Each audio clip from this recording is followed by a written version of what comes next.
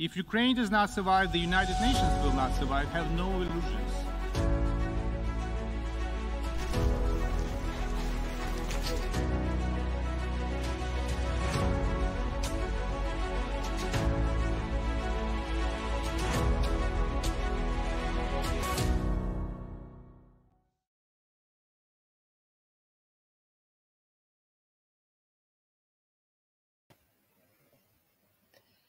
Uh, good evening to everyone, and I'm happy to welcome you at our second lecture in our wartime lecture series. And today I'm very happy to uh, welcome Marcy Shore, who is the historian and associate professor at Yale University, and who will be giving lecture uh, today on um, uh, memory politics and topics of responsibility. Uh, my name is uh, Anna Osipchuk. I'm associate professor at Kiev Mohyla Academy. I'm also director for research at School for Policy Analysis, who is together with Alumni Association of Kiev Mohyla Academy and um, uh, Kiev Mohyla Academy itself, uh, in partnership with Giessen University and um, Eastern European Studies Center at Giessen University, too, are organizers of these events. A series of lectures in which we reflect on uh, the war in uh, Ukraine and uh, on everything that uh, changed and is still changing after Russia invaded Ukraine in uh, February of this year. So I'm very happy to welcome Marcy Shore, and uh, I'm giving this floor to you, please, Marcy. Oh, thank you, Anya. Thank you so much for the invitation.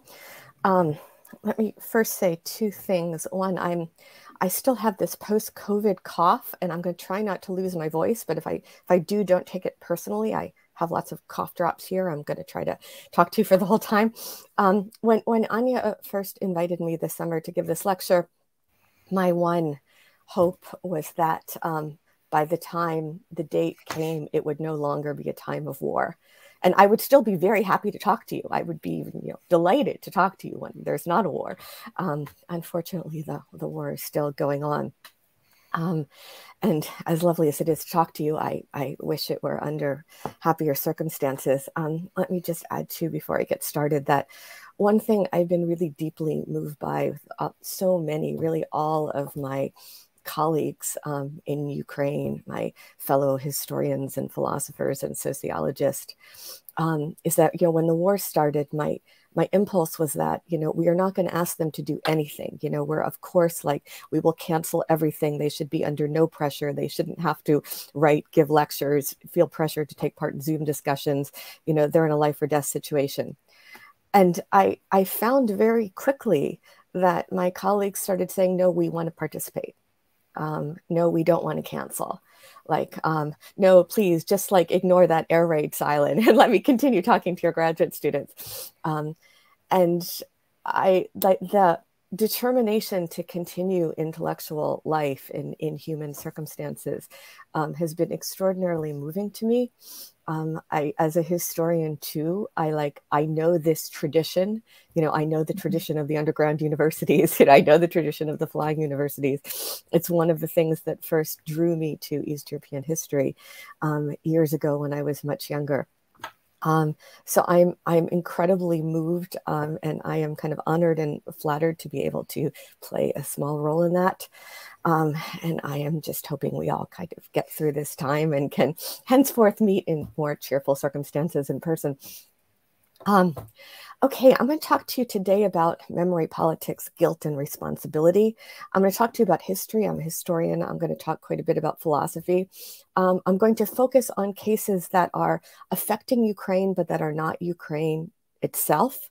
Um, so I'm sure many of you have questions and things you want to say about memory politics in Ukraine, and I'll perhaps leave that to you to bring them up. Um, I always feel slightly stupid talking to Ukrainians about things Ukrainian. Um, so let me, let, I'm going to I'm going to speak mostly um, for the next, you know, half an hour or so um, about German Russia and Germany Russia and Poland, but tease out some universal themes. Um, so, so going back to the moment that I keep going back to these days, which for those of you who have sat through my lectures before know, I keep going back to 1989, which was this moment of extraordinary hope. And um, as my my friend Ivan Krastev wrote in this Guardian piece about Gorbachev, it wasn't just that everything was objectively so promising or Gorbachev was objectively so wonderful. It was a coming of age moment for our generation. Um, and when you're 17, when you're 18, you want to see the world opening. And so it was a kind of combination of the world opening in 1989 and through the 1990s and my being at a very impressionable age. Um, and it was a thrilling time to be an aspiring historian because the archives were just opening. And at that time, we believed in a kind of liberal teleology of progress in which they started to open, they're going to keep getting more and more open. We didn't really foresee the moment, um, which Russian, you know, and post-Soviet historians did foresee that it was going to turn the other way and archival access would tighten up again. Um, I was part of that generation that felt like now we're all going to bask in the light of truth and um, you know the wicked witch is dead and we're maybe we're going to live happily ever after and of course that that quickly revealed itself not to be the case um, even before putin came on the scene and and one of the first things I, I understood when i started learning these languages and going into the archives was that the throwing open of the door of the archives um, while it may be kind of objectively a good thing and uh, a healthy thing, what was not going to be a very nice thing. And that the, the metaphor of the Wizard of Oz was not really the right metaphor. That the more apt metaphor was the one I now use um, that comes from psychoanal- psychoanalysis that for for freud the unconscious is like this kind of dark psychic closet into which everything too disturbing for the conscious mind is thrown and it, it builds up over the course of a lifetime and really the archives were like that freudian unconscious that dark psychic closet into which everything too disturbing for consciousness was thrown. And what Freud understood was that when you start coaxing the contents of that dark psychic closet into consciousness, into the light of awareness, it might be, you know, it might be healthy. It might be a good thing, but it's not going to be nice. It's not going to be pleasant. It's going to be agonizing. Um, and that's that's what happened through the 1990s. Um, later, I, I, I read Nietzsche and um, his essay on the uses and disadvantages of history for life where he he opens with some cows. My, my kids love the anecdote about the cows. When we go to Krasna Gruda on the Polish-Lithuanian border every summer, there are lots of cows. You know, and Freud and uh, Nietzsche says, you know, look at those cows. Why do you think they're so happy? You know, why do you think they're so content? It's because they're not thinking about the past. They're not thinking about history. They're totally unhistorical. They're just living in the present, you know, and that we will never know what happiness is, you know, because we have this historical consciousness. Um, and for Nietzsche, this was basically miserable. Um, and digesting too much history was like overeating. It would lead to nausea. It was dangerous. History was only for those with an iron stomach. Um, and only the strong could handle a lot of history. Um, and so, drawing on kind of Nietzsche and Freud, that's kind of now colored my perception of what I had originally um, begun to experience as a happy time in the 1990s with respect to being a historian. And one thing that I also understood in time as things came out of the archives was more and more about the nature of totalitarianism, um, both Nazism and Stalinism. And I'll leave aside the question of comparison.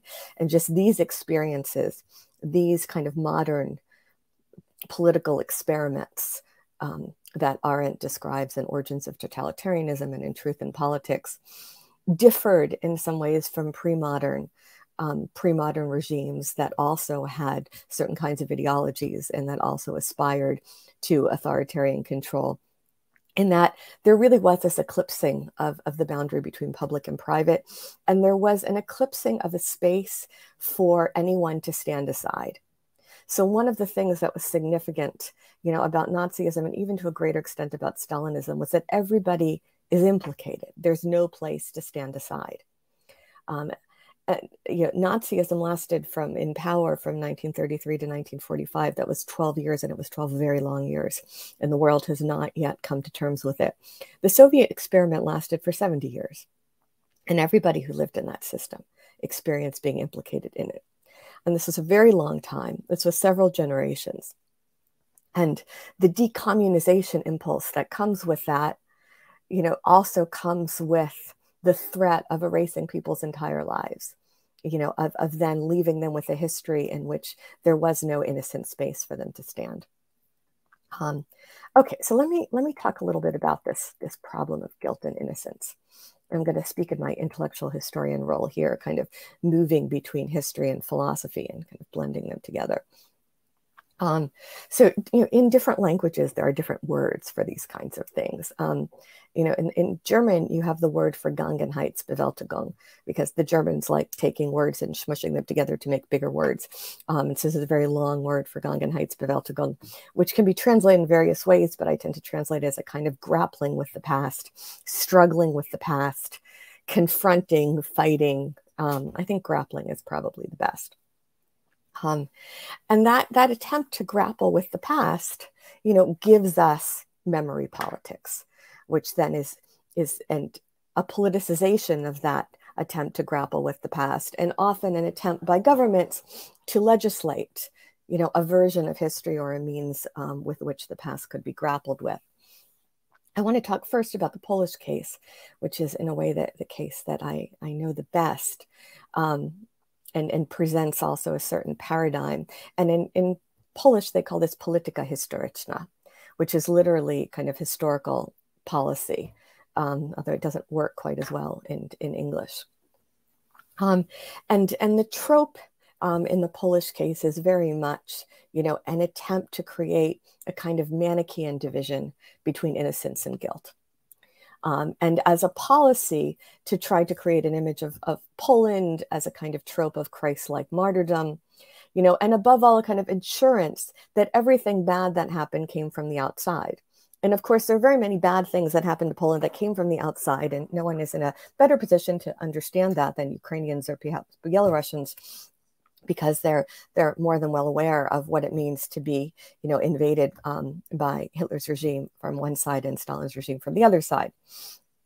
Um, and this this spirit of historical policy was captured in a, a, Polish law, which has gone through various versions um, over the years, um, that essentially legislated a prison sentence, at least initially, um, for those attributing to the Polish nation, whatever that may be, responsibility for Nazi or communist crimes. Um, and the original version of, of the IPN law in um, 2006, 2007 read whoever publicly imputes to the Polish nation participation in, organization of, or responsibility for communist or Nazi crimes is liable for up to three years in prison. And um, the historian Dariusz Stola at that time wrote, um, wrote a letter to Gazeta Wyborcza that was published it's published as an essay, which in fact is my, I think is one of the, the best and most on point responses and representative of a whole school of responses, just particularly well written. And he said, and this is my English translation from the Polish, um, the original project authored by the Senate Legislative Office was unambiguous. It enjoined the prosecutor to act in every case of imputing to the nation or the Polish state or a group of Polish citizens and or individual persons being Polish citizens. With this, the authors claimed that no Polish citizen has ever taken part in any Nazi or communist crime. As a history professor, I hope that such an opinion results only from thoughtlessness and not from a complete lack of knowledge about Polish history in the 20th century, or an equally harmful desire to deprive Poles of a fundamental aspect of human dignity the capacity to choose good or evil. For if neither groups of nor individual Polish citizens had anything to do with these crimes, then why all the ado about the iniquities of the communist regime? After all, everything bad was done by some alien creatures, most likely Martians. Um, there was a 2018 version of, of this law that initially provided a prison term for up to three years for people who publicly and against the facts attribute to the Polish nation or Polish state responsibility or co responsibility for Nazi crimes or other crimes against peace, humanity, or war crimes. This was partially repealed in June 2018. It's, it continues to go through various versions. Um, Russia's 2014 law against the rehabilitation of Nazism is is very similar um, and you know enforced in a much more draconian way. Um, not unsurprisingly, that law makes it a criminal offense to quote unquote deny facts recognized by the International Military Tribunal that judged and punished the major war criminals of the European Axis countries, to approve of the crimes this tribunal judged, and to spread intentionally false information about the Soviet Union's activities during World War II. It's this spread intentionally false information um, that, of course, is a kind of catch-all, as well as you know the spreading of information on military and memorial commemorative dates related to Russia's defense that is clearly disrespectful of society and to publicly desecrate symbols of Russians' military glory okay you don't you don't have to have caught every word of that but you kind of you get the idea that you're kind of creating an impression of you know of, of, some kind of entity some kind of state entity national entity that is pure and innocent and good and everything bad came from the outside from alien others um, it's this plays very well into fascist politics, which my friend Jason Stanley um, uses as a title of his book on the topic, "Us versus Them." Fascist politics always involved this kind of hard division, this draconian division between insiders and outsiders, between us and them. You know, the Poles say me and oni. Um, but it, it's also to be a little bit more generous about this. It's an expression of, of a human need to find a safe space in, in the world. Um, and the idea that everything bad came from the outside, um, from some kind of aliens, is, is enormously comforting because it means you can kind of get together with those who are your own, with, with Nashi, and feel that you found a, a safe space. Um, the, the tragedy, of course, of the human condition is that there is no such safe space. That what we fear is always, you know, also both inside us and can never be cleanly understood as being across across a, a very clear divide. There, there's a brilliant short story which is now becoming a play um, by the way, by Nathan Englander, the American Jewish writer Nathan Englander, called What We Talk About When We Talk About Anne Frank. Um, some of you may have read it. I've, I've taught it many times. Um, if it hasn't been translated into Ukrainian and or Russian, I hope somebody will listen to this short reference and decide to translate it. I think it's one of the most important moments in post-Holocaust um, Jewish literature and I'll, at, at, the risk of spoiling the story, I'm going to give you the very short version because I think it's philosophically very significant. And the story is about these these two girls um, who are are Deb and, and Lauren, who grow up in an Orthodox community in New York, and they're best friends through high school. And then high school ends, and they go off in different directions. Um, one of them marries a secular Jew, moves to Florida with him, has one child, and has a kind of typical American bourgeois middle class life. Um, and the other one marries the child of Holocaust survivors. They become ultra Orthodox, they become Hasidic, in fact, and they move to a Hasidic community in Israel and, you know, live this life, you know, as if they were living in a Hasidic community in the Pale of Settlement 200 years ago, and they have like 10 children. Then they lose touch with each other 20 years later, find one another via Facebook, and there's a reunion in Florida when the couple from Israel is visiting. And there, the husbands have never met each other before, and these two women start talking, and they, they, the couples start drinking, and they start smoking pot, and they start reminiscing. And one of the things they reminisce about is this game that they used to play in high school um, called the Anne Frank game. And the Anne Frank game, they grew up in this Jewish community, was they have to imagine somebody they know who is not a Jew, the postman or the bus driver, you know, or the cashier at the store, or somebody they have some casual relationship with who is not part of their community because he's not a Jew. You have to imagine that person and say, if that person were in occupied Europe during the Holocaust, would he have saved us? Would he have saved me? It was an imaginative game. And now, all these years later, they start, you know, drunk and stoned and reminiscing. They start playing this game again, and now with one another. And the, the woman who is, is secular um, has to look at, at her husband, who is a, a, secular Jew, and imagine that he was a Gentile in occupied Europe during the Holocaust and say, Would he save me? And she looks at him and says, Yes. And then the woman who is, you know, who's ultra Orthodox has to look at this man, you know, who she married 20 years ago, who is the child of Holocaust survivors, the father of their 10 children, um, you know, a, a deeply religious Jew. And imagine you know that he is he is a non-jew he is in occupied europe. Would he save me? Would he risk his life to save me? And she looks at him and she says yes. But at that moment all four of them know that it's not true that she's not sure and that uncertainty becomes the source of silent terror in the room. Now, I realize I've, I've ruined this story for everybody, but it doesn't make sense unless I, I tell the whole thing. And what's extraordinary about that is this the sense that all of this attempt to create a Jewish community that could then clearly delineate who is an insider and who is an outsider and to find a safe space among one's own. And that's all unraveled because what they fear is also inside us that evil can never be safely you know, consigned to the point on the other side of the border. Um, okay, let me let me move on now and um, speak for a few minutes about the uh, about the Russian and German cases. Now we've gone through a little bit about the Poles and the Jews. Um, so this attempt of memory politics to find a safe space in the world is a failure. It will always be a failure, I think, because there is no safe space in the world. This is really the tragedy of the human condition. There's nothing that can be done about this.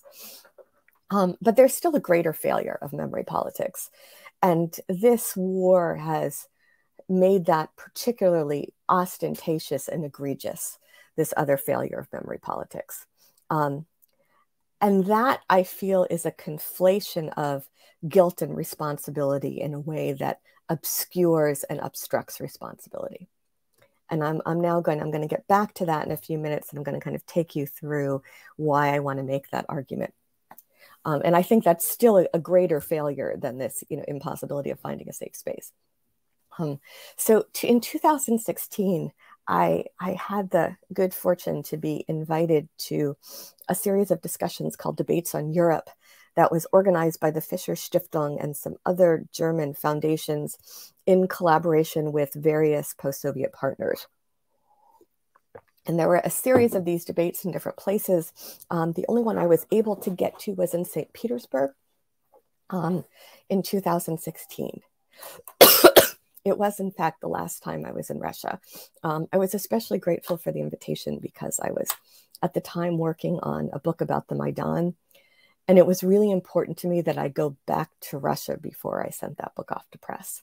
I felt like I, I, you know, I'd been to Ukraine several times while I was writing the book, but I felt like I needed to sit in the same room with my Russian colleagues and and look them in the eye and really try to understand what's going on and it was really i was the only american there i mean these were really german russian discussions um, in some sense about ukraine although ukrainians were conspicuously absent um, i won't go into the details it has largely to do with the fact that the the, the Ukrainians who had been working with these debates on Europe, it was not going to be safe for them to cross into Russia because they were at risk of being detained. Um, so they were largely German Russian discussions. And at a certain point, you know, the topic became, you know, Nazism, Stalinism, and who should apologize to whom. And the Germans, in a certain way, felt superior because they have accepted guilt for Nazism, you know, to a certain extent, unambiguously, you know, with few exceptions. Um, they have apologized, um, they have repented. Um, and so now they're looking at the Russians saying, you know, when are you going to apologize and repent you know, for Stalinism. Um, and then there was a lot of yelling about dead grandmothers and whose dead grandmother should apologize to whose dead grandmother. Um, and a lot of talk about pokayanya, you know, and, and re- repentance, really with this kind of heavy religious undertone. Um, and under what conditions should repentance take place? And under what conditions is it meaningful? Um, and then a lot more, you know, a lot more angst um, and defensiveness and guilt about dead grandmothers. Um, I should I should add that there was nobody in this room, as far as I recall, who was old enough to have been personally guilty of any Nazi or Stalinist crimes. Enough time had passed. There was nobody in that room who was of, of, of probably even a teenage age and certainly not an adult age at the time of the war. So the people who were guilty, you know, were largely dead at this point. Um, let me let me let me spend a couple minutes now talking about the the German case um, because I I was I was haunted by this at the time um, because I felt like these were these were not the right questions. People were asking the wrong questions. I felt like here we are. We've got a bunch of fantastically smart, serious people in this room. We have Russians, we have Germans. We're thinking about Nazism, we're thinking about Stalinism.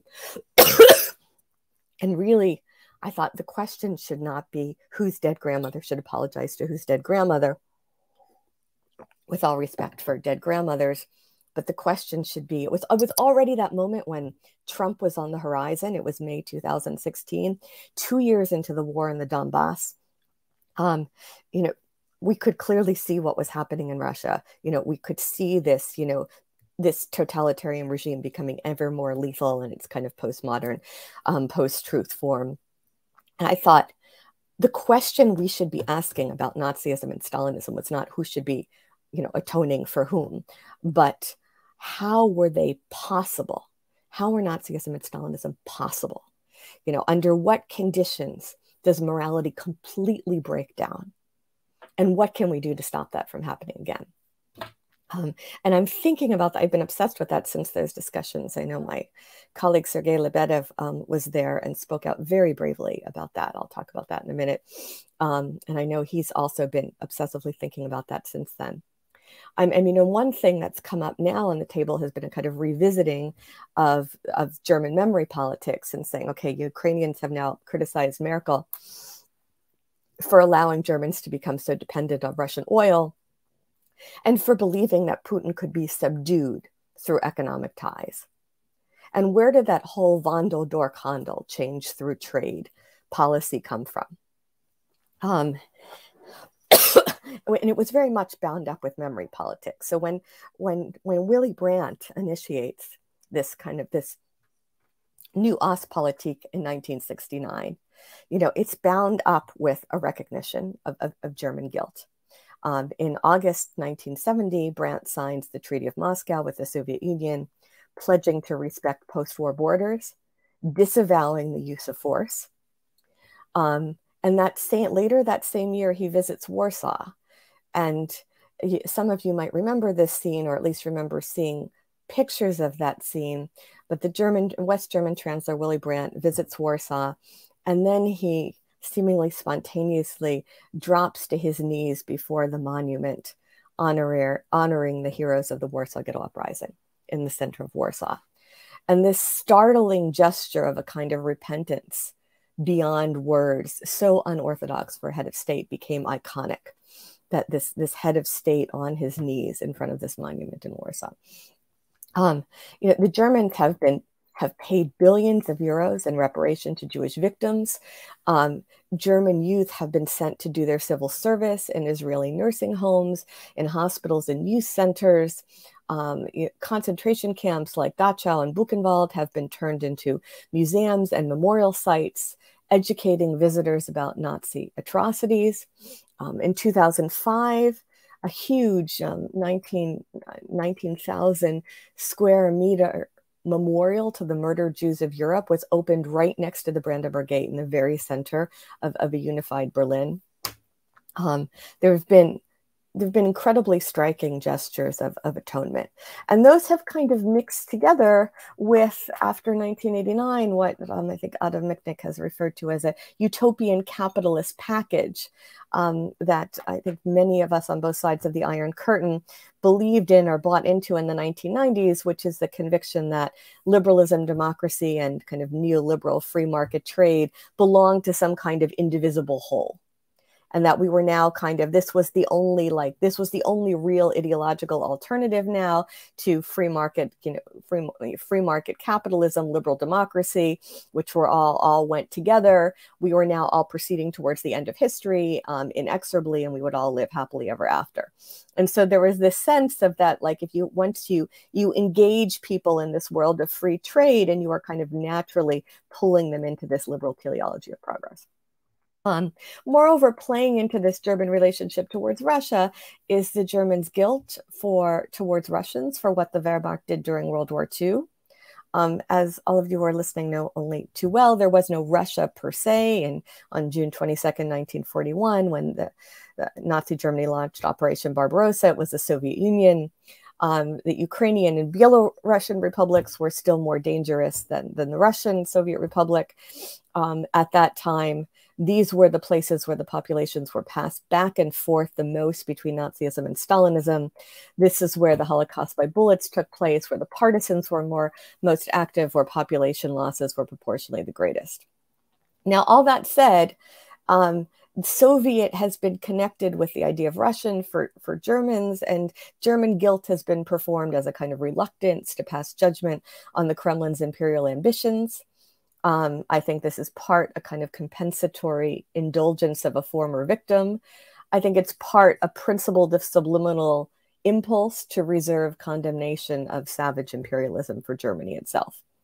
Um, and the result has also been a kind of retreat into a quasi pacifist passivity, a kind of reluctance that Germans have to act, especially to get engaged in acts of violence, um, as a compensation for having once acted too much. Um, let me now turn briefly to the, the Russian case, um, which is obviously both radically different, um, but yet results in, in, in, a kind of similar problem I'm going to argue in a couple minutes.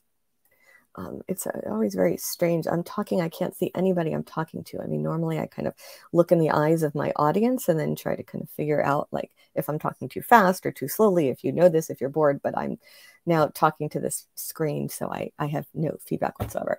Um, so hopefully you're following me and I'm trying not to feel too stupid. Okay. Um, the Russian case, the Russian case is very different um, for a variety of reasons, but I just want to highlight some of them. One was that um, Bolshevism was a revolution that devoured its children.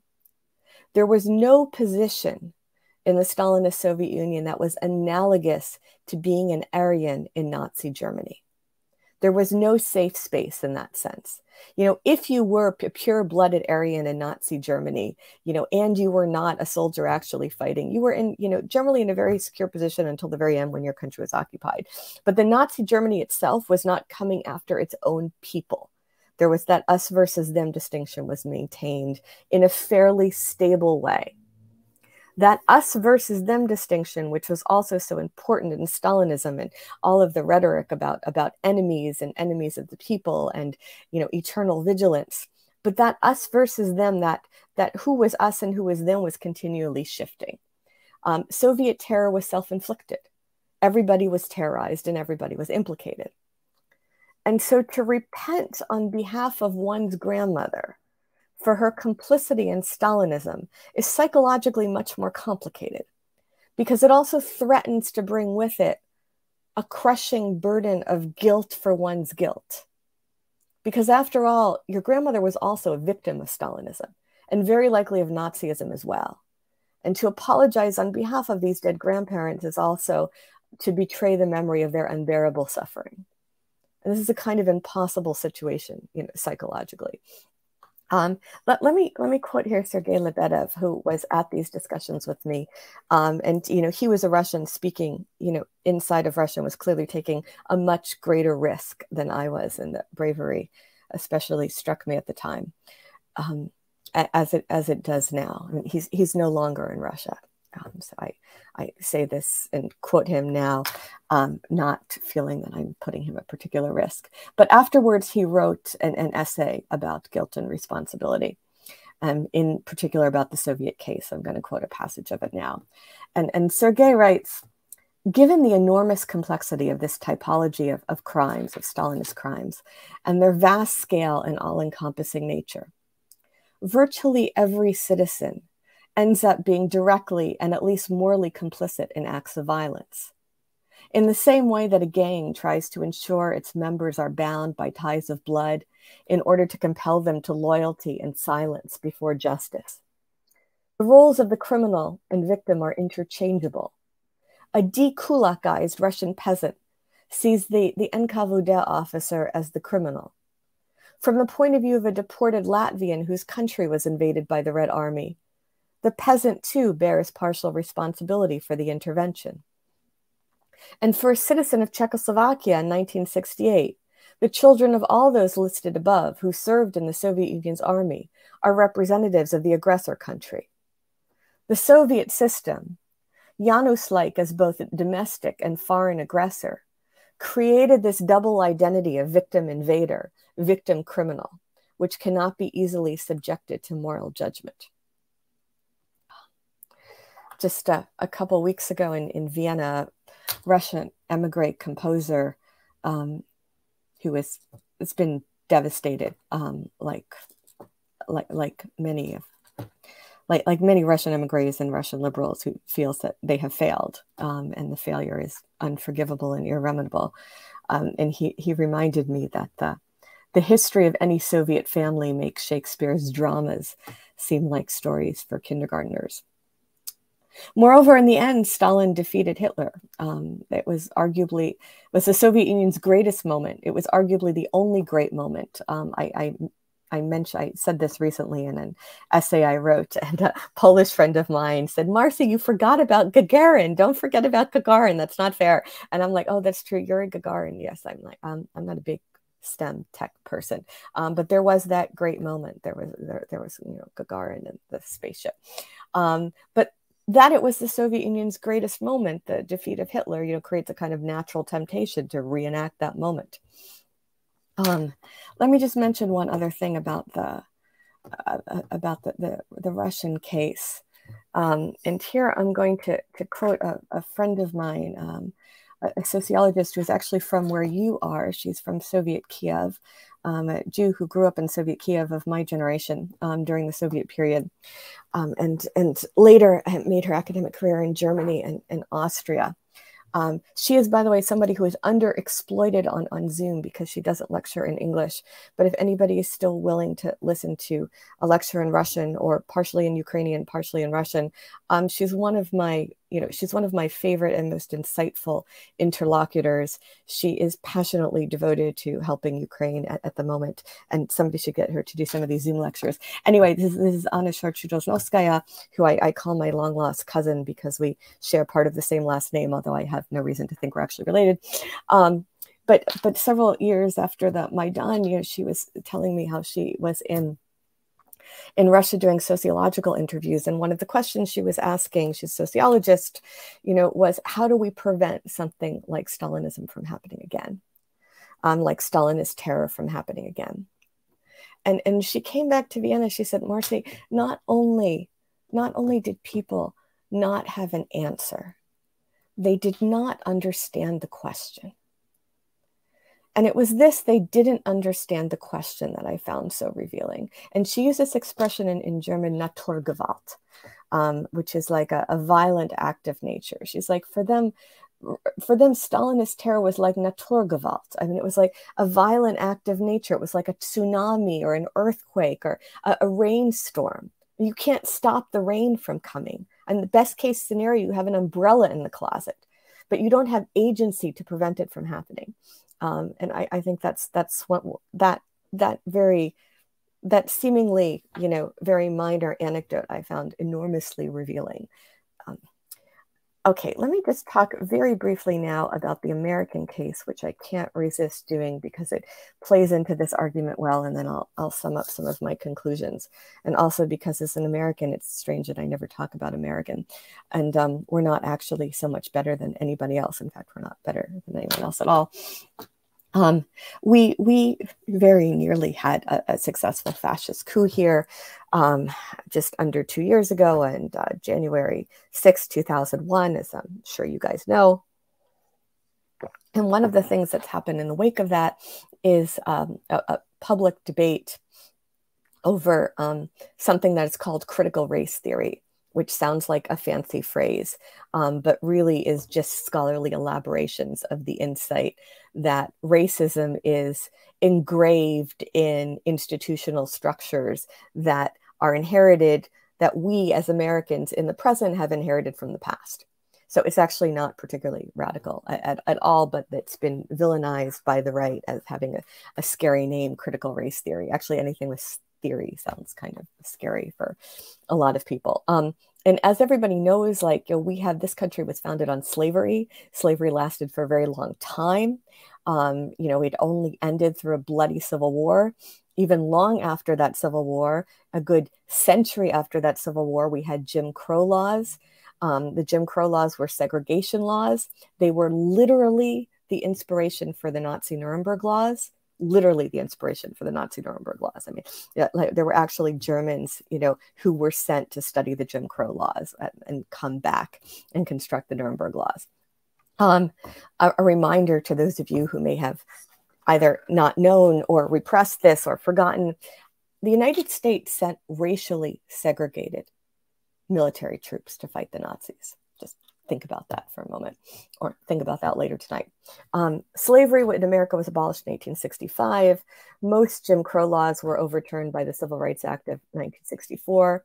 Um, Anti miscegenation laws, um, which actually made interracial marriage and, and the uh, interracial reproduction of having children um, continued to be legal in various states until they were declared unconstitutional by the Supreme Court in 1967. That's over two decades, you know, after you know after the Allies defeated the Nazis. It was actually illegal for whites and blacks to marry in many states. Um, so what, what critical race theory says is basically that that even though these things are over, their effects linger because they are embedded in structures. Um, I won't go into much detail about this, but you know, for instance, a very long history of housing segregation. Racial housing segregation in the United States has influenced property values. Public schools in America are funded not by the federal government in Washington, but by local property taxes. So, where property values are low, public schools don't have any money. Um, the, the, the, racial wealth gap between the average white and the average black family remains 10 to 1. Um, one in three Black men in the United States will go to prison at some point in their lives. Um, Black Americans receive higher drug sent- sentences. There a history of negative racial stereotypes portrays Black women as welfare mothers who are lazy and living off the state, and Black men as super predators who are threats to everybody. Um, and one of the things critical race theory says is that white Americans objectively benefit from being exempt, for instance, from negative stereotypes applied to Blacks, even if they do not subjectively hold racist views themselves. Um, it's basically just saying there is such a thing as structure you know that it's not only your individual feelings about things you're we're also embedded in structures. So many americans have kind of villainized critical race theory out of a refusal to be labeled guilty for what they have not done themselves. You know nobody alive in america now is guilty of slavery. You know slavery eh, you know ended long before any of us who are still who are alive today were born. Um, and americans have an ideal of individualism. Um, yeah, the well, former American politician Bob Strauss liked to say that every politician wants us to believe he was born in a log cabin he built himself. Um, the memory laws that have come up, you know, in you know, in an attempt to counter critical race theory, which is just to say that we have inherited institutions that we might not like the fact that they were built on racist structures, but we've inherited them, so we have to grapple with them. Um, and the the backlash against critical race theory was captured, for instance, in a proposed New Hampshire bill of this year, um, which reads, among other things. No teacher shall advocate any doctrine or theory promoting a negative account or representation of the founding of the history of the United States of America, you know, in New Hampshire public schools, which does not include the worldwide context of now outdated and discouraged practices. Such prohibition includes, but is not limited to, teaching that the United States was founded on racism. Of course, the United States was founded on racism. It's kind of incontrovertible. But the attempt is to say, like, no, we were always innocent, and anything bad happened because you know it was it was being done by somebody else somewhere else somewhere else. Okay, um, I now want to want to kind of move to um, some more philosophical thoughts about this. Um, paradoxically, Americans' insistence on individualism is what inhibits responsibility. And what Americans actually share with both Germans and Russians is a conflation of guilt and responsibility, which stymies, which kind of obstructs and, and squashes the latter. Because by implying that responsibility in the present is dependent upon guilt in the past, memory politics have, have obstructed rather than encouraged the taking of responsibility.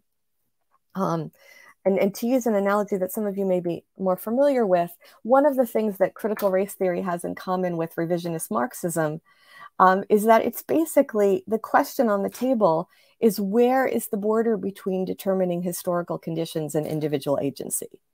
This was the question that you know that Marxist thinkers, including former Stalinists, were asking, especially between 1956 and 1968 you know how do we inject marxism with a more robust sense of individual agency without throwing out you know the point that is so crucial to marxism which is that you know his, we are how we think and how we live and what we do and can do and our possibilities you know are also determined by the historical conditions in which we find ourselves and that that I, I am very interested in revisionist Marxism. I've, I've written about it. I, I work on it. I, I know many people are just no longer interested in any kind of Marxism at all, but um, which is understandable. But let me the, the short version of that story of what East European philosophers did during those debates on revisionist Marxism through the 1960s was they reached the conclusion that that that determining historical conditions versus individual agency is not an either or question that the relationship between subjective choice and objective circumstances is always interactive. We are always embedded in structures that predate us, but that does not mean we are helpless and inert and don't have agency. We are shaped by structures even as we shape those structures ourselves. And, and the subsequent move that that tradition of uh, that became a tradition of dissident philosophy um, the, these the subsequent move these philosophers like Karl Kosik, Leszek Kołakowski, and Jan Patočka made through the 70s and 80s was to say that responsibility was not a contingent relationship to this or that, but a constituent element of each of our being. I think this understanding of agency within embeddedness should be the model for accounting with the past replacing repentance for the sins of, of dead grandparents. Neither guilt nor innocence can be inherited. History, though, can be and is inherited. Um, I'm going to use, you know, Heidegger has this idea of Geworfenheit. Heidegger, who himself was quite guilty. Um, Geworfenheit is this great German word that if you, I tell my students that once they know it, they'll be amazed they could have ever gotten by without it. Geworfenheit is literally thrownness. Our existential condition is one of thrownness. We are thrown into history. We are always already thrown into history, which just means that there's no tabula rasa. We are not like born into a world in which we get a blank slate and we start from nothing. There's no such thing as a frictionless world. You know, we're always in a certain time in a certain place. Just like there's no magical Archimedean point outside of the world with which we can look on the world with perfect ob objectivity. There's no such thing as a tabula rasa. We're always already thrown into history. Um, we're thrown into history. History is inherited. That does not mean we are guilty of what of what people did before we were born. But the fact that we are not guilty does not mean we are not responsible. We are responsible. We are responsible not for atoning on behalf of those who lived before us.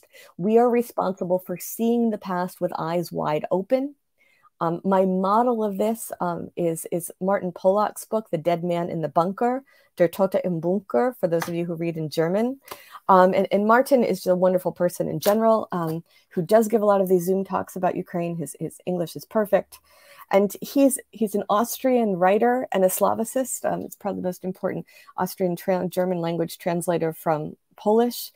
And, and he's the son of a, of a Nazi. Um, he's the son of an SS man. He comes from a whole Nazi family. And he wrote a book about his father called The Dead Man in the Bunker, which is not about like neurotic guilt for feeling, you know, guilty by contiguity. It's about his responsibility for seeing the past with eyes wide open, for facing the truth. Um, and this idea that we are always already responsible for facing the truth. Um, the one, the one truly decadent thing I, I did during the the lockdown was I listened to Volodymyr Rafeyenko's Zoom course on ontologia literatury, um, which he was teaching at, at that time in, in Russian um, from the Dacha village where he was living outside of Kiev after he fled from Donetsk at the beginning of the war. And, and one of the phrases that Volodya likes to use when he teaches, which really became deeply kind of embedded in my consciousness, was здесь и сейчас. Здесь и сейчас надо быть человеком. Здесь и сейчас надо иметь совесть. This is, you know, responsibility is always здесь и сейчас. It's always here and now. and the source of this responsibility is not personal guilt. The source of responsibility is what Heidegger calls being in the world. And the argument I want to make here is that responsibility transcends the div division between guilt and innocence. There's no escape from it. You know, guilt relates to facts. You know, and, and Hannah Arendt, in one of my favorite essays by her, Truth and Politics, says that facts have no conclusive reason for being for whatever for being what they are they always could have been otherwise and this annoying contingency is literally unlimited I mean, she uses the example that Germany invaded Belgium in 1914, but there's no law of physics that required that to happen. Facts are always contingent. They might have been otherwise. Guilt relates to facts, choices, actions, which always might or might not have occurred. They might have been otherwise. They're facts a posteriori. You know, guilt is a posteriori. You know, guilt is ex post. Somebody does something and they are guilty for it. So guilt is contingent. It's, it's uslovno. Um, responsibility is not you know responsibility is always already. Responsibility is, is a priori. It's non-contingent. It's part of what it means to be a human being. It is always here and now. Um, I, am gonna i'm gonna quote to you um, from Jan Patočka's letter to my, my late friend Krzysztof Michalski, who founded the Institute of Human Sciences in, in, in uh, Vienna.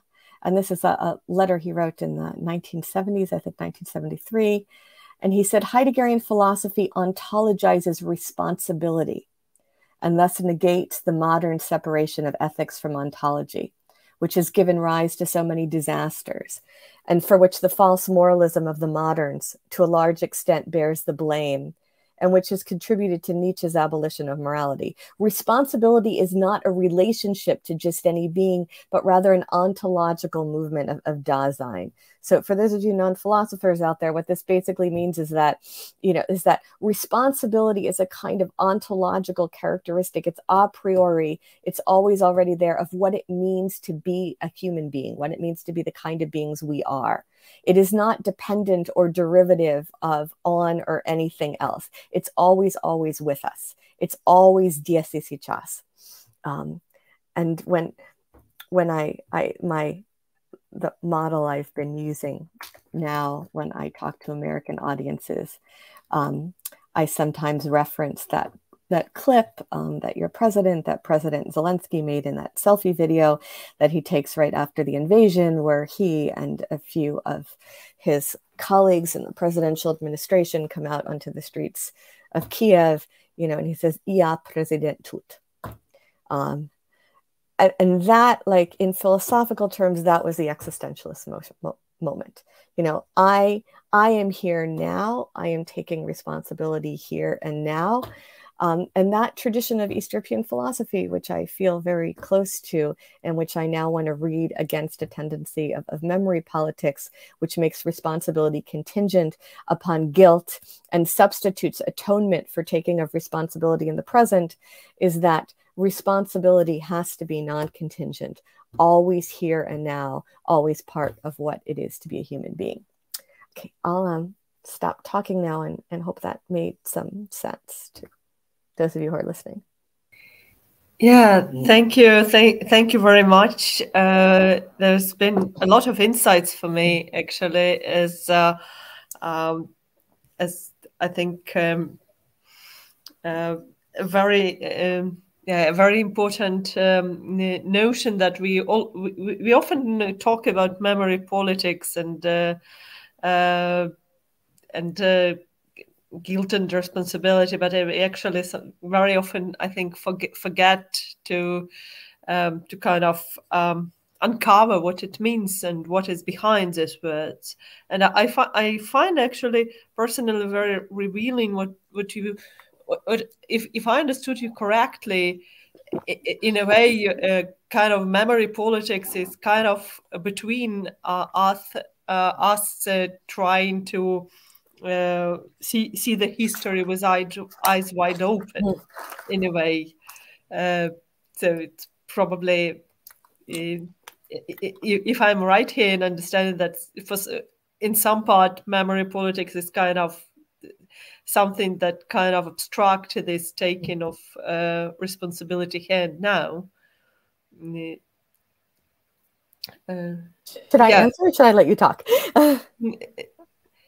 yeah should i respond or, or yeah yeah, yeah. or no but no no you're right i mean this is i'm I, i'm looking at one of the reasons i've looked at these different cases is that i think even the the german case which i think was you know an attempt to face the past in good faith has mm-hmm. nonetheless obstructed the taking of responsibility i mean mm-hmm. i think there's mm-hmm. and i think part of the I, am thinking about that now because when I see Germany hesitating about sending weapons to Ukraine, you know, in part because they feel like we need to have learned from our guilt, I feel like this isn't this dependence on, on German oil, the indulgence of Putin, mm-hmm. you know, mm-hmm. the failure to like to move quickly with the I feel like this isn't it's a lapse of responsibility.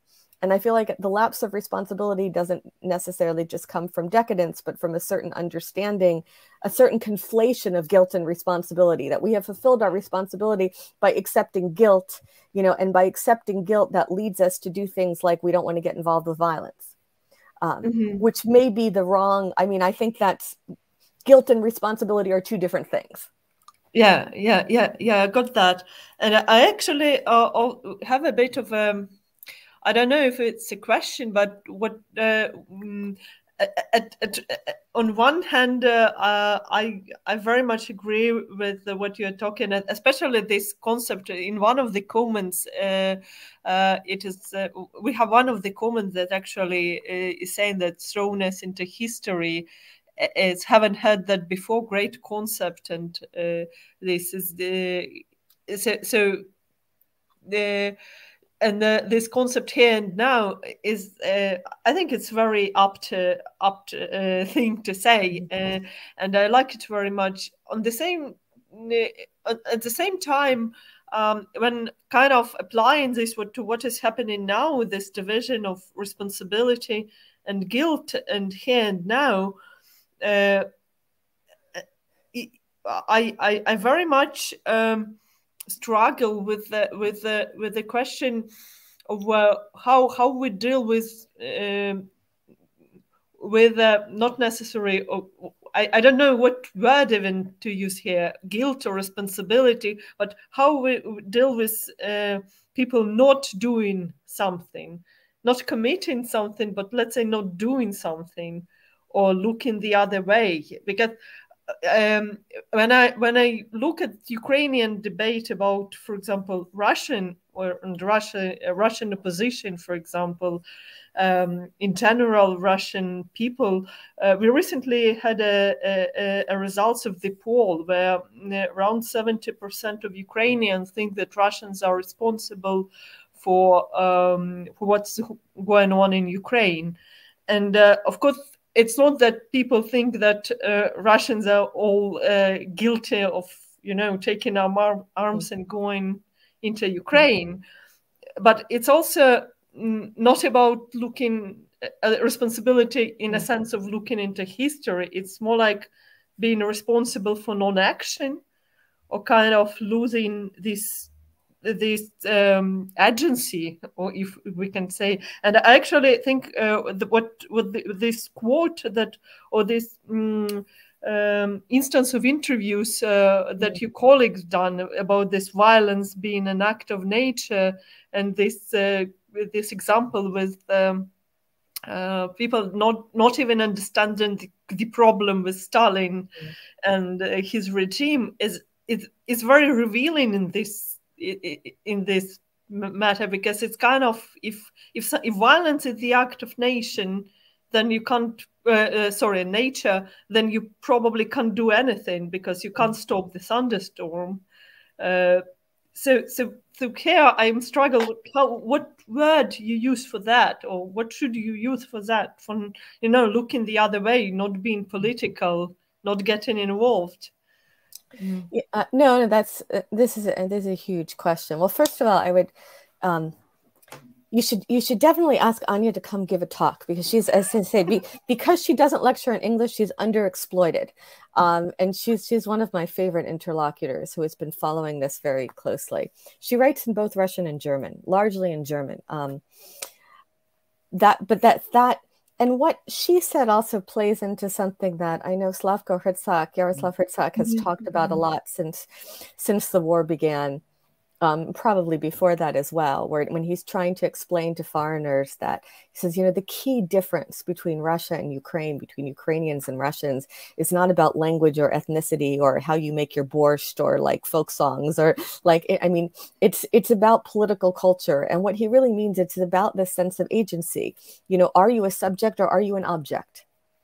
You know are i mean are you an actor or are you a kind of recipient of, of fate?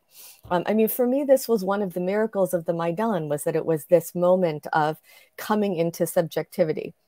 Um, in, in polish they they nicely distinguish the word podmiotowość from subiektywność um, which is is very helpful. So like in it's because it, that the word subjectivity has a kind of double meaning in english. Um, mm-hmm but in, in Polish, you can actually podmiotowość what it means to be a subject as opposed to an object, what it means to have agency, you know, what it means to be in the first person and the nominative. And when the Maidan happened, you know, one of my, my Polish historian friends said, you know, well, Marcy, podmiotowość, like the last time I heard that word was during the time of solidarity. And that was a key concept that people like Adam Michnik injected into the discourse in 70s and 80s. Like, what does it mean to be an actor? You know, and this idea that that Adam have of Adam Michnik had of living as if. You know, living as if for him was you live as if you were a free person taking responsibility for all your actions, regardless of any kind of socio political constraints. You know to live as if it's to take responsibility despite constraints you know in that conception. Um, and i think that i mean trying to i mean uh, i'm one of many people who's been tearing their hair out trying to understand what went wrong in, in russia and volodymyr Rafeyenko used the expression the anthropologicheskaya katastrofa this kind of anthropological mm-hmm. catastrophe mm-hmm. um, you know Zhenya Monastersky saying everyone's saying polityką like what i mean which is what what you're saying like what does it mean to say i'm not interested in politics? I mean i'm in principle not interested in politics either. I don't really like being interested in politics but it's one thing to say like i'm not interested in you know tax reform law and it's another thing to say like there's mass slaughter being carried out you know mm-hmm. and people are like bombing kindergartens and i'm not you know it doesn't have anything to do with me. I'm not interested in politics. At a certain point you cross a line you know from like when, mm-hmm. what is political and what is what you know where have you crossed the line into the moral into the ethical into a space where there's no there's no morally legitimate way not to take a position? We have far crossed that line. I think it's there's no legitimate space you know in russia or anywhere else to say i'm not interested in politics therefore you know i'm not going to take a position on mass atrocity. That's not politics. You know you've I mean, hegel has this idea that there are moments when quantitative changes become qualitative when changes in scale mm-hmm. become changes in kind. What's happening with the war is on a scale far too dramatic to be confined by the concept of politics. Um, but yes, this, I mean, I, I, I, mean, I get this too from, I went to Vilnius to, and I talked to people from the Russian opposition um, the summer. I mean, all of whom basically devastated and like on the verge of suicide and like feel like they have failed you know and that failure is is unforgivable and irremediable you know and it, it's all lost you know and they'll never forgive themselves and they'll never forgive their people and they'll i mean it's just it, of, of all the people i met with this summer poles ukrainians belarusians russians psychologically the russian opposition was by far like the worst state. I mean it was a kind of unbearable guilt and sense of failure. But what everybody kept saying you know, is that there's no sense of, of agency on behalf of most people in our country. That people are, it's not that this is not a country full of people who just like you know, with a kind of bloodlust, take great pleasure in the idea that we're killing Ukrainians. But there's there's a sense of people just kind of staying out of things, uh, as you said, like not taking a position, hiding, um, deciding that you know whatever it doesn't have anything to do with me, and in any case, you know, the value of a human life is not worth that much. Mm-hmm. Yeah, thank you, thank you. Um, I, am looking if we have any questions. Um, uh, then uh, uh, probably not. Uh, we have a couple of comments uh, just on the on the lecture, but uh, no no questions. But I, I have probably then another one would would you would you uh, to continue probably would you say because there is a, a there is an argument that it's a, a moral catastrophe mm. uh, but um, mm, you know this kind of um, I, I actually wonder if if the question is about uh, like political culture and this um, absence of agency can we really talk about moral catastrophe or not? Uh... Um, yeah, I mean, I think, okay, I'm going to speak now as an Arendtian, which I very yeah. much am. Um, Hannah Arendt was one of my first loves and greatest mm-hmm. loves, and she remains someone I keep thinking with. Um, and I, I take her position that she articulates in the book on Eichmann in Jerusalem, where so there's this moment where it's obviously a very controversial book where she, uh, for, so for my listeners who who don't know. So Adolf Eichmann, who was the organizer of the so-called final solution um, during the Holocaust, who was the the German civil servant who organized the transports to to the death camps. Um, and he was he escaped after the war and was living under a different name in Argentina. The Israeli Mossad looked for him for many years. Um, finally, found him 1960, 1961, kind of illegally kidnapped him in Argentina, brought him back to Jerusalem to stand trial. And it became a kind of show trial that was not just of this one man, but of, of the Holocaust and a kind of pedagogical, a pedagogical trial for the next generation of Israelis to learn what had happened in Europe during the war. So it was a huge moment. Um, you can read the transcripts, you can watch the testimonies. Mm-hmm. It's like extremely well documented. But Hannah Arendt, who was a German Jew who had left and escaped in 1933, um, and was then had long had uh, had long had a career as a political philosopher in the United States, was then sent by the New Yorker to Jerusalem to cover the trial. And it's significant in this case that she's listening to Eichmann defend himself at this trial, and he's speaking in German, and it's her native language. And the, the intimacy, I've been thinking a lot about these cases too, but because you know Ukrainians know Russian, you know and that that kind of intimacy with which with listening it's different listening in your own language or listening in a native language um, and she's listening to eichmann speak german and she says at a certain point it became clear that his inability to speak was connected with his inability to think you know and namely to think from the point of view of another person mm-hmm. and people took this argument and they they hated her for it because they said she's just excusing him she's not excusing him I mean, for Arendt, the greatest crime is a failure to think. There is never any excuse for failing to think. The fact that he just like he didn't, you know, what what what is shocking to her when she gets there is the discrepancy between the mediocrity of the person and the monstrosity of the crime. He doesn't particularly hate Jews. He has no strong feelings about them. He was a bureaucrat. He was interested in advancement. Um, he tried to do a good job at the task to which he was assigned. He didn't give it a whole lot of thought. I mean, that to Arendt doesn't make him better. That, if anything, makes him worse. You know, there's no excuse for a failure to think. Um, and so I, I don't think that this, like, we're just not paying attention. We don't care. We haven't given it much thought. I don't think that that's that should not be understood as an attempt to excuse people. I mean, I think that I, I think we need to to understand when that's when when the core of evil is in that particular failure to think um, and i i definitely have the sense that something like that is happening in russia and i definitely felt like i mean it's something like that happens in the united states too I mean, this is one. Mm-hmm. I mean, I realize I'm biased because, like, I'm a professor. I teach. All of us who teach feel like it's our job to teach people to think. there's no shortcut there's no substitute for people who can think there's no way to get around that problem you need people who can think yeah, and uh, I, I, I can very much relate to what you are saying because I, I also think that, you know, um, uh, uh, quite. Uh, um, we, we had a recent translation or second edition of the of this book, uh, uh, I Eichmann at Jerusalem, but um, previous edition was was under the name "The Banality of Evil," mm-hmm. and in many cases, I think that the, these concepts of banal evil, banality of evil, mm. in many ways are much worse than you know thinking about this existential. Mm. Is someone being existential evil, like I don't know, devil reincarnate, yeah. or something? Um, so, so yeah, I, I very much um, uh, feel what you are saying.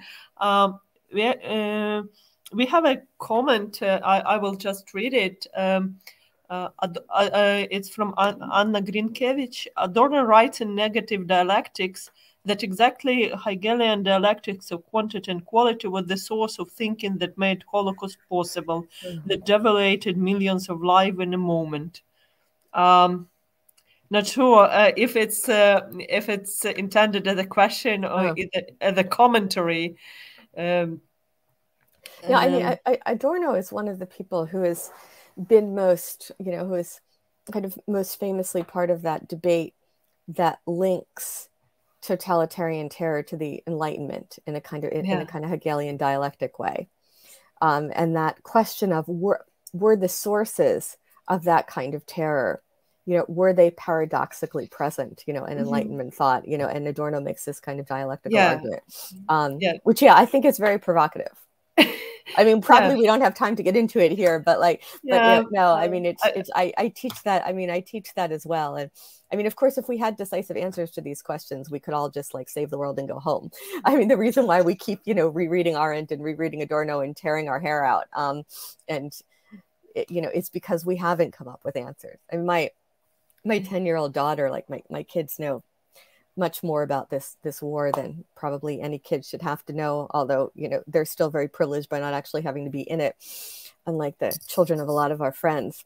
And my mm-hmm. my daughter was you know they're constantly asking questions you know and the thing they want they they can't that they can't understand is why would russians want to do this? Like why do they want to come kill ukrainians? Like why why do people just decide they want to like you know bomb a children's hospital? Like why? Like why do you do that? Like why why not like you know you know get up and go jogging instead. Like why not? Like what what what where does that come from? And the one thing i you know i was at one point I, I said to my daughter i said you know like historians you know sociologists like call it like we've all like all of us who have studied this stuff you know who have like really tried to understand how these things happen we've we've come to understand a lot about how racism works, how fascism works, how totalitarianism works. We really understand a lot very well. But what we haven't, you know, what we haven't succeeded in doing is coming up with some kind of magic recipe to make it stop.